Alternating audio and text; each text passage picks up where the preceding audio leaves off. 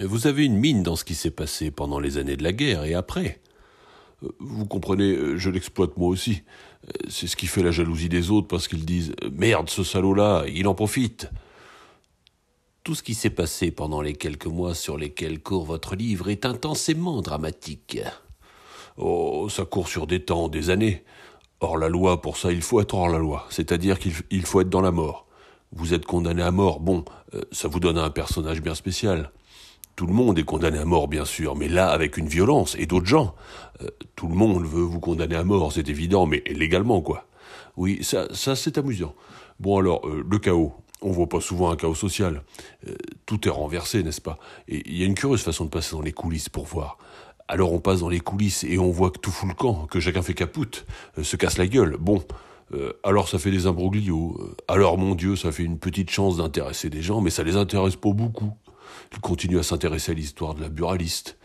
Ce qui est très amusant, c'est de regarder qu'est-ce que le goût du public. Eh bien, le goût du public, il est pour le roman populaire.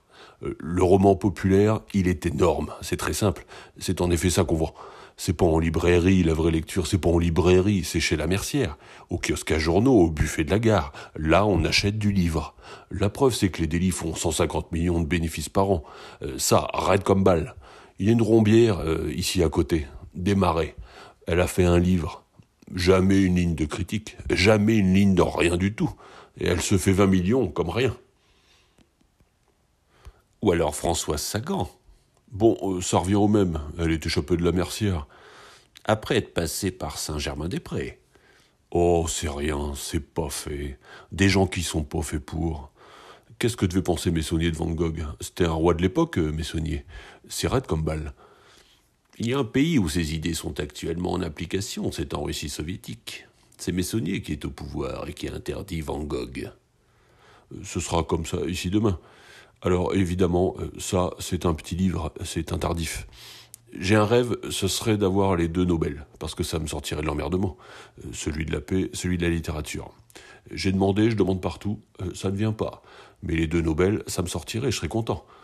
Mais alors, oui, oui, oui, Voltaire le disait, n'est-ce pas, mélancoliquement, et c'est rare que Voltaire soit mélancolique. Mais enfin, il l'était un jour, il disait Je fréquente beaucoup les tragédiens grecs, mais je n'en vois que trois Sophocle, Répide et Échille. Ils traitent tous les trois les mêmes sujets en même temps, et puis après, il n'y a plus personne. Alors, dit Voltaire, qui était assez théoricien, il vient une giclée dans un certain pays, à un certain moment, représenté par trois, quatre types, et puis après, une nuée de bonnes gens qui ne veulent rien dire, une myriade de crottes qui sont partout. Bon, c'est un peu ce qui s'est produit en France pour l'impressionnisme. Il y a dix gros impressionnistes, surtout trois ou quatre très gros, et puis après, des imitateurs. C'est comme un feu d'artifice. Après, il n'y a plus rien. Voltaire remarque encore Faire des fables après La Fontaine, c'est ridicule. Bien sûr, des fables, il y en a toujours, mais en somme, il n'y a plus rien à dire. C'est fini après La Fontaine. Rien, plus personne. Mais c'est comme ça pour tout, bien sûr. Il y a de bonnes années, puis après, il y a des années creuses, et même des époques creuses, n'est-ce pas? C'est fini. Les laps de temps nous paraissent très longs, 25, 50 ans, mais ils ne sont pas tellement longs en fait. Il ne peut pas y avoir des génies tous les 5 ans. Euh, de génie, non. Euh, ça, c'est la partie cabotine, n'est-ce pas? Euh, Mais par exemple, j'entends souvent dire Un tel, il a une prodigieuse langue de théâtre. Oh, ses répliques, elles sont admirables. Oh, quelle force, quelle présence. Alors je lis, moi, je, regarde, je cherche, je cherche la force, la présence, il n'y a rien. Oh, cette réplique, il a été étonnant. Vous allez voir ce qu'il a dit. Eh bien, rien, c'est mort. C'est même pas mauvais, non, pas du tout. En cherchant bien, j'avais vu trois, quatre types qui avaient flairé, qui étaient pas loin de ça. C'était Ramuse, le Suisse, Paul Morand et puis Barbus. Des horizons différents, des genres différents qui avaient senti la rupture du rythme. Le dégueulis Bordeaux, Bourget, Anatole France. C'est gentil, Anatole France. C'est très travaillé. C'est pas mal du tout, c'est joli, mais je dis, et après? Il a porté ça au maximum, alors maintenant, il n'y a plus que des favouilles, des crasseux, des crasseuses, rien. Je pense que ce qui faisait la force d'Anatole France, c'est ce qu'il disait au moment où il le disait.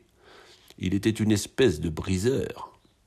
Ah, non, Anatole France c'est un conteur, un anecdotier, philosophe, c'est bon. Je voyais, j'ai fait l'expérience, j'ai passé un moment au Danemark, comme vous le savez, et j'étais là-bas dans une exploitation agricole, des pommiers. Euh, le chef était un fermier, il n'était pas au courant du tout, mais enfin, il aimait lire. Alors ces livres-là sont traduits, je lui ai donné les livres d'Anatole France, les livres de Flaubert, les livres de Balzac. Bon, ce bonhomme, il était simple, n'est-ce pas? Et je lui ai demandé quelle était son impression, ce qui l'avait frappé le plus. C'était Anatole France, la rôtisserie de la reine Pédoc et Bovary. Le reste, ben mon Dieu, faut avouer, ben mon Dieu, que le reste... En effet, Balzac, n'est-ce pas? Je veux pas dire que Balzac c'est bon pour les cours. Ah, Balzac, c'est un monde. Oui, euh, mais c'est quand même assez médiocre. Euh, vous savez, n'est-ce pas, les Français, parce que ce sont les Français, et d'ailleurs tous les peuples, mais surtout les Français, ont été élevés par les jésuites. C'est les jésuites, au fond, qui ont fait l'éducation française. Alors passons par la cour. Euh, ce sont les jésuites. Et ça sent toujours les chairs, l'éloquence qui tombe de la chair. Alors vous avez dans tous les articles un côté sacerdotal. Partout il y a un sermon. Le peuple en a besoin. On lui fait un sermon. Mais cependant, mettez que nous disons que le grand dictateur que nous connaissons se trouve assassiné. Euh, vous allez au bistrot. Vous savez ce qu'on se dit là. Vous verrez, il y a des types qui font des remarques assez intéressantes, mais ce sont des vannes, c'est pas monté. Ils peuvent envoyer une vanne comme ça, pourquoi pas, mais pour faire une construction, ça manque. Vous trouvez en effet une jolie vanne, c'est bien envoyé. C'est bon, mais pour en faire 600 pages, zéro. Parce que Qu'oubliez pas qu'en toute chose, en peinture, en musique comme ailleurs, l'art fondamental, c'est l'architecture. Alors, vous avez une porte, une fenêtre, il faut aussi un toit, il faut entrer par une porte, sortir par l'autre, monter l'escalier le descendre. Oui, oui, oui. Eh bien ça, ils peuvent le faire. Parce qu'une vanne, ça va un peu, mais pas loin. Euh, voyez le Simonin, c'est grotesque. C'est pas monté, c'est rien. Il n'est pas monté, c'est de la daube. C'est pas organique. Vous me direz qu'un bout de verre solitaire par là, une tête de lapin, un morceau d'autre chose à gauche, c'est joli. Elle est jolie, cette tête de lapin. Il est pas mal, cet anneau de solitaire. Mais montrez-moi un organisme, et il n'y en a pas. Il faut de l'architecture pour faire quelque chose, euh, mais pour l'architecture, il faut s'en ressentir. Il faut que ça soit construit ou ça tient pas debout. Une symphonie, n'importe quoi. Ce que vous écrivez est construit. Oh oui, c'est construit. Euh, du premier mot au dernier mot, c'est construit. Vous comprenez, l'idéal, c'est que le bonhomme aille dans la maison. Je pense à la maison, par exemple, euh, qu'il entre par la porte. Il dit Mais merde, il y a une marche là. C'est une drôle de marche. Quel escalier? Il voit la fenêtre, une drôle de fenêtre. C'est comme la maison de Van Gogh. Et puis le premier étage. Ah, bien, c'est rigolo aussi, tiens, il dit. Voilà une table. C'est rigolo, c'est pas laid, c'est drôle. Et puis voilà une chaise. Il s'assoit dessus. Euh, elle est un peu drôle. Il sort, il revient, il dit hum, Il m'est arrivé un drôle de truc. En sortant de là, je suis pas comme quand j'étais rentré. Euh, on m'a fait subir un drôle de traitement, c'est perfide, on m'a doublé. Euh, c'est ça qui est très dur à faire, c'est ça la transposition, c'est ça l'objectif. Or, notre art est objectif. Les jésuites, l'héritier des jésuites de Descartes, il y, a le bien, il y a le bien, il y a le mal, le solide bon sens, n'est-ce pas? À savoir qu'il faut que tout soit logique. 1 et 1 font 2, et 2 et 2 font 4, plus 1, 5, pour moi. Euh, nous nous éloignons tout à fait de l'Orient d'où sont venus tous les arts, au fond, où vous savez que tout ce qui était logique était effacé. On n'en voulait pas. Il n'y avait que l'irrationnel qui comptait. Euh, nous, c'est le contraire. Il y a d'abord le raisonnable, c'est pas vrai pourtant, parce qu'aux sources de la vie, oh, c'est un grand mot, je veux dire, le coït. Eh bien, je défie un bonhomme de coïter raisonnablement on peut faire beaucoup de choses raisonnables. C'est ce que disait Saville, le biologiste. Il disait, n'est-ce pas euh, Quand on dit dans l'écriture au commencement de la vie était le verbe, c'est pas vrai. Au commencement de la vie était l'émotion. C'est l'émotion qui compte. Le verbe emmène tout. C'est l'émotion qui compte. Une abibe protozoaire, ce qui est plus simple dans la série animale, vous le touchez, il se contracte. Il ne parle pas. Les gosses qui ont deux ou trois ans, vous savez qu'ils sont beaucoup plus doués à deux ou trois ans ou quatre ans que quand ils commencent à parler. Quand ils commencent à parler, ils ne regardent plus. Au-dessus de 4 ans, ça commence à bavasser. La parole emporte tout. Ils bavardent et n'observent plus, sont emportés par les paroles, tandis que c'est l'émotion qui compte. Un gosse de 3 ou 4 ans, euh, elle apprend très vite. On en fait une danseuse très vite. Tandis qu'arriver à 16 ou 18 ans, c'est loupé. Oui, oui, il y a de l'émotion. Oui, il y a l'émotion qui est la base de la vie. Ils se tirent 3 milliards de coups par nuit dans Paris. Ils ne sont pas raisonnables. Sans ça, la raison, c'est le froid, c'est la mort, c'est la dalle. Vous travaillez en ce moment? Je fais la suite parce que j'ai des traites, des machins à payer chez Gallimard. Et puis, vous savez, si je n'étais pas vieux comme je suis, je serais plus rapide. Mais enfin, maintenant. Comment travaillez-vous? Deux heures par jour, comme tout le monde. Oui, oui, deux heures par jour. Et il faut du temps pour tout, pour élaborer, penser. Une pensée, c'est un mot que j'ai en horreur. L'emmerdant, c'est la pensée profonde, la sensibilité tout ça. C'est Gide. Je crois que j'ai lu presque tous vos livres, et j'ai lu celui-ci d'une traite. Ça m'a frappé qu'il n'y avait pas de sexe. Euh, mais il est là le procureur. Mais là, le procureur n'a rien à dire, parce que je suis certain que s'il y avait n'importe quoi de sexe, il y aurait un père de famille, un résistant particulièrement vertueux qui n'hésiterait pas à écrire au procureur. Il y a quand même un vieux qui se fait fouetter. Euh, oui, tout de même, mais je laisse ça à Sagan. Maintenant, c'est pris par Sagan, par Sartre. Tous ces gens-là donnent dans le sexe. Oh, le sexe Pauvres petits merdeux, ils ne tiennent pas debout, ça n'a pas de vitalité. Moi qui ai passé ma vie dans le cul des danseuses, euh, qu'est-ce que ça va chercher, pauvre petite bonne femme, pauvre petite Sagan avec ses petites allumettes? C'est emmerdant le sexe, n'est-ce pas? Parce que le français est polisson, on doit être polisson. Alors, euh, en avant le vergalant, oh, je l'adore, oh, c'est ça à la radio toute la journée. Oh, comme il me prenait, oh, je l'adore, oh, mon homme. Anatomiquement, l'homme est malheureux. Il est malheureux parce qu'il est contraint par la nature à la station verticale, à savoir que c'est le seul animal qui se met sur ses jambes. Alors, euh, sur deux pieds, la pesanteur l'emmène vers le bas, les nichons dégringolent forcément, la fesse idem. Donc, quand il danse, ça complique tout. Alors, ça fait un bonhomme très difficile. C'est un tour de vache infini que lui a fait le bon Dieu en le mettant sur la terre en lui disant Tu seras debout. Euh, vous n'avez qu'à aller sur les Champs-Élysées. Ils ont tous envie d'aller à quatre pattes. Ce sont des primates. Et leurs femmes, alors, ça dégringole, ça fout le camp. Les naturalistes n'ont rien dit, parce qu'ils ont parlé soi-disant de la chose, telle qu'elle est, mais ils n'ont rien dit du tout. Il y avait tant à dire sur la physiologie du bonhomme, c'est-à-dire sur le comportement de l'homme. Ça, vous savez, euh, rien que le fonctionnement d'un homme à l'état normal, c'est un paradoxe extraordinaire. Vos personnages existent-ils réellement ou bien les avez-vous créés? Obolt, euh, il existe. Matke existe aussi. Il est sympathique, Obolt euh, Oui, c'est-à-dire qu'il représente bien les Allemands qui n'existent plus, la race qu'on a détruite, quoi. C'est fini, ça. C'était des gens comme des gens de la Renaissance, prêts à prêt à tout, qui était humain, qui, était pas bête. On ne le retrouve pas. Tout finira par la canaille, disait Nietzsche tout le temps. C'est vrai, nous y sommes.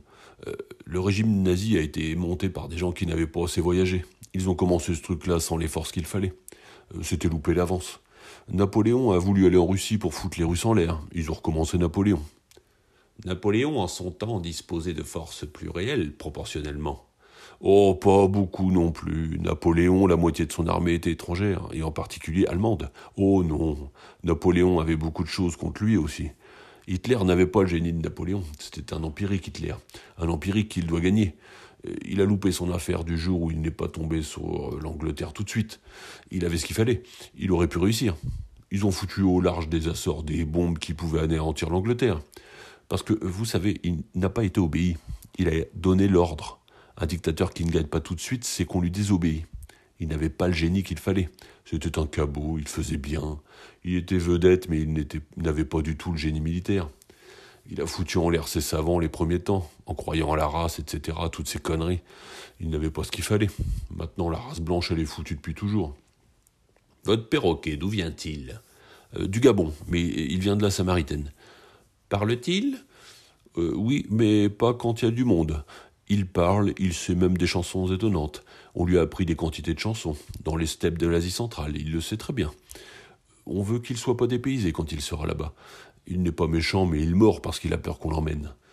Il n'a pas de gros bec parce que c'est Lara. Et les oiseaux qui sont là? Ah, ceux-là, ce sont mes petits pères. Ah, vous voyez, c'est drôle tout de même un oiseau qui se met à vous parler, hein? Vous sortez très peu, si je comprends bien. Euh, je ne peux pas parce qu'avec tout ça, avec les chats, j'ai les oiseaux, j'ai quatre chiens et il y a la maison. J'ai le ménage à faire. Je mange très peu, mais le dîner, il faut le faire. Enfin, des pommes de terre. Oh, pas de, la cuisine le soir. Vous écrivez ici? Euh, Jamais ici. À l'intérieur, jour d'atelier, j'écris. C'est un mot. Vous écrivez, maître. Qu'est-ce que vous nous préparez, maître? Je vous ai compris, allez. Ah, madame Gertrude qui m'a compris. C'est un bon mot. Ils se foutent ensemble, mais tous ces crétins de la littérature, ils sont riches, eux. Oui, je crois qu'on gagne assez vite de l'argent. Oh là, vous savez que la NRF reçoit 10 000 manuscrits par an, et elle édite 350 livres sur les 10 000. Et ces 350 livres, à combien vous croyez qu'ils se vendent? Ils sont tirés à 3 000. Combien croyez-vous que se vendent ce tirage de 3 000 300. Oui, c'est tout ou rien. Mais non, c'est pas tout ou rien. Euh, le genre gide précieux, le genre machin chouette, c'est la littérature recherchée, n'est-ce pas?